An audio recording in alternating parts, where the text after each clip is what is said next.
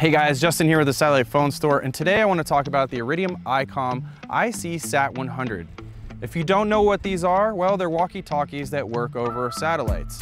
And the advantage to this is that you don't need direct line of sight for communication, and you also can speak over much larger distances compared to their conventional counterparts. First, let's go over the button layout on the ICOM. On the top, you'll have your power and volume dial, you'll have your channel dial or your talk group dial, and the small red button, which is the emergency key. On the front, you have your two programmable buttons the directional keypad for navigating the menu, and the menu or OK button, and then the back or home button. On the left hand side of the device is the push to talk button. On the right hand side, you'll find the multi connector port. You'll need to remove the cover in order to use some accessories like a fist mic. You will also find the USB port to charge the device.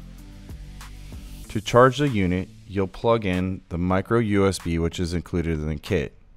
You'll also want to use the AC-DC charger that is included. If you're to use your own charger, it may not charge because this needs 5 volts and 2 amps. Other chargers may actually cause it to discharge. On the front of the device is the microphone and speaker. This is important to know so that you are speaking into the correct spot on the device. Here's how to install the battery.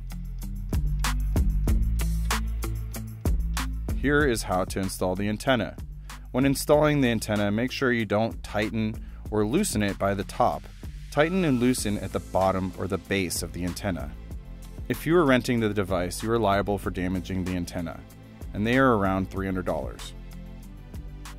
To turn on the device, turn the power dial or knob at the top.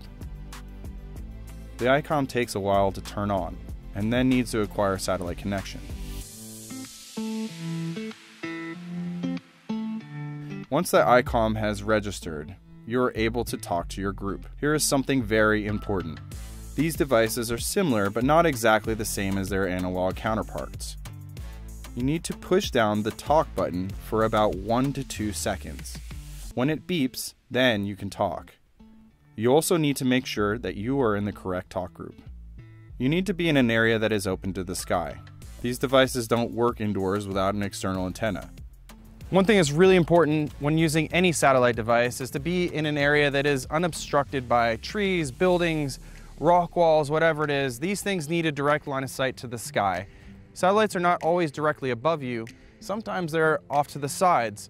The rule of thumb is if you can hold up your fist and your thumb along the horizon and your thumb stands up higher than everything around you, then it's a good spot to be in.